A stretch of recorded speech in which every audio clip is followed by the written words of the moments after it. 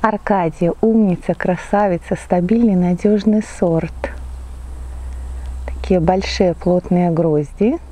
Вот с этой стороны я даже рискнула, оставила две на побег. Ну, конечно, так делать не стоит, потому что а, сразу видно ягода мельче, чем вот там, где оставлено по одной грозди. Ягода крупная. А, грозди тоже крупные, но обычно больше килограмма. Максимально у нас было а, кило 600, но вот я думаю, что это где-то кило 200, может быть кило 300. Ну вот это тоже она тут еще с крылышком, тоже больше килограмма будет. Ягода сладкая, плотная, мясистая, хрустящая, с легким мускатным ароматом. По срокам созревания в этом году на 8 сентября все Аркадия готова и уже есть мускатный аромат. У Аркадии, как правило, толстая лоза. Это для нее нормально. Вот лоза приблизительно с мой палец. Ну и видите, вот на 8 сентября уже нормально идет вызревание побегов. Про Аркадию я могу говорить долго, наверное, даже бесконечно. И считаю ее одним из э, стабильнейших и надежнейших сортов на нашем участке. Какие же вопросы к ней возникают? А, часто говорят, что у Аркадии муската нету и у нее слишком простой вкус. Но дело в том, что особенность этого сорта в том, что у нее рано уходит кислота. И, следовательно, ягоду, в принципе, можно уже кушать в конце августа. Потому что она уже не кислая, она уже ну, довольно приятная. Но, конечно, она еще не набрала сочности, она еще не набрала сахара, она еще не набрала аромата. И в таком случае, да, она будет совершенно простого вкуса, она будет больше похожа на траву. Но это не значит, что плохой сорт, это говорит лишь о том, что ее слишком рано съели. Кто-то говорит, что этот сорт поздноватый. 8 а, сентября уже ягода вкусная с легким мускатным ароматом. И смотрите, вот ее косточки. Косточки уже коричневые. И дело в том, что у столовых довольно ранних сортов мякоть созревает раньше, чем косточка. И это, ну, как бы не всегда можно ориентироваться и нужно на косточку. Косточка нам больше нужна для технических сортов. Тем не менее, косточка коричневая. Конечно, можно сказать, у вас же она растет в пристенке. Да, действительно, у нас она растет в пристенке. Но есть одно большое но.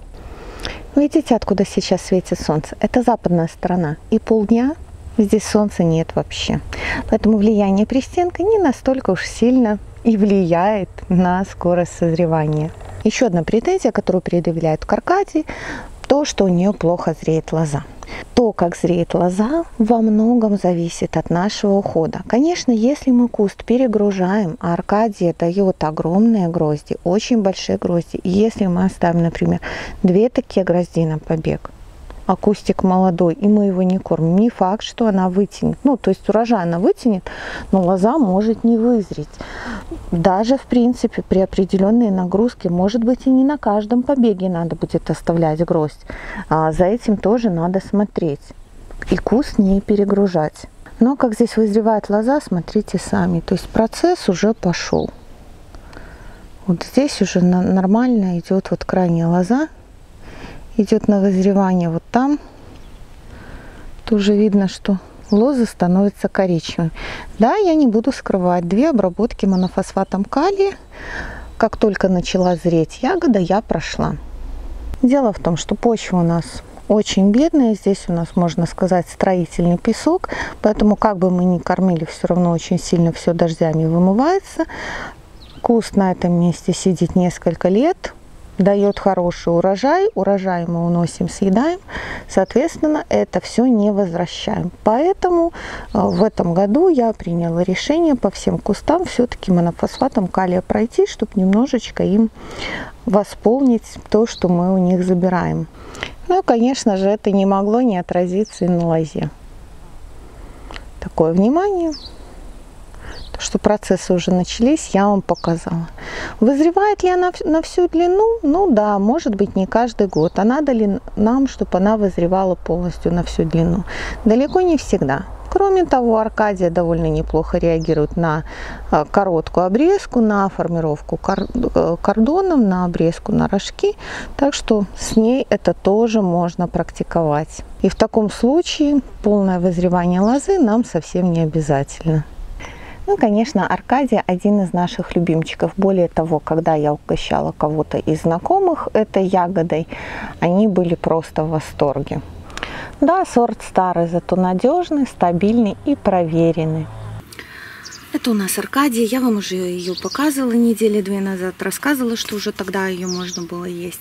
Теперь ее тем более можно есть. Чем больше она висит, тем больше она набирает аромата. И для Аркадии характерно то, что при полном созревании она имеет легкий мускат. Посмотрите, какая гроздь. То есть э, я думаю, что эта гроздь уже за килограмм перевалит.